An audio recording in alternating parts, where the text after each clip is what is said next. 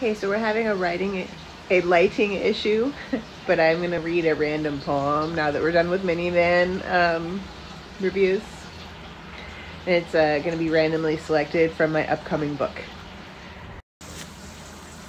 This is a poem called Bound. To me, New Orleans lay veiled in every song a mystery I never knew, and I became so connected, the tenacity seething in vines in the brontosaurus tree trunks, swamp bark that coils. The pain binds me, it is in the heart shaped faces, shielding loss, how girls like this grow.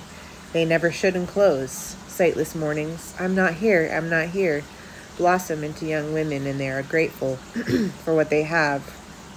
The beginning of the universe is in your eyes, a trampoline which rebounds pity. Brave, so brave, as fearless as stars. In this moment, they must be numb, soldiers in their true loneliness. But will they flutter from the sky like little bits of paper, like wilted Christmas merchandise in New Year, or implode under gravity like a star to a black hole? But yes, they will. They will grow. There are too many people, we must observe this. How do the girls go on? And still there is Saturday. And still, and still, and still, and still. There is Saturday.